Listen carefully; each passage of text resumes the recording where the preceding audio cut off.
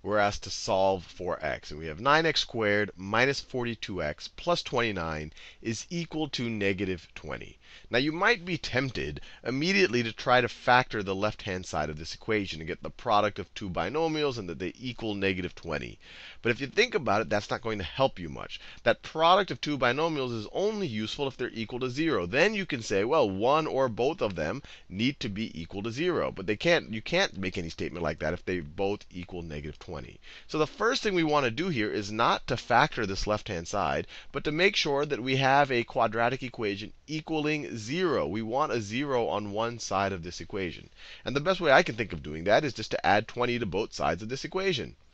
So if we add 20 to both sides of this equation, then we are left with, on the left-hand side, 9x squared, 9x squared minus 42x plus 49 is equal to 0. Now we have a quadratic we have a quadratic expression equaling 0. Now we have a nice quadratic equation, and we can factor this thing on the left-hand side. Now we could factor it by grouping, but you might immediately, something might immediately pop out at you. And you know, when you see numbers like 9 and 49, those are perfect squares. So maybe this whole expression is the perfect square of some binomial. So let's think about it a little bit. 9 squared is 3x is 3x squared. 9 squared is 3x squared.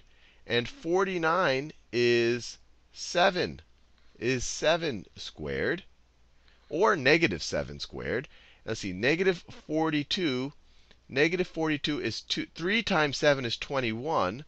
21 times 2 is positive 42. But if we make this a negative 7, if we make this a negative 7, because negative 7 would also work, negative 7 squared is also 49, then 3 times negative 7 times 2 is negative 42. Let me write that down. 42 is 2 times 3 times negative 7. So this fits the pattern of a perfect square.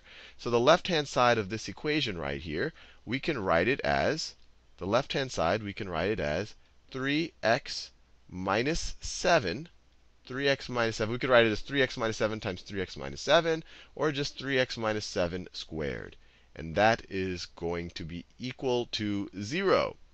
Now, we essentially only have one expression equaling 0 times itself. So the only way that's going to be equal to 0 is if that expression is equal to 0. 3x minus 7 needs to be equal to 0. And now we can just solve for x. Let's add 7 to both sides of this equation.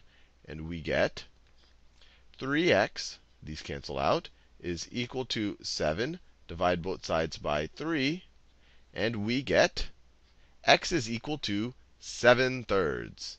x is equal to, let me just write it here. x is equal to 7 over 3.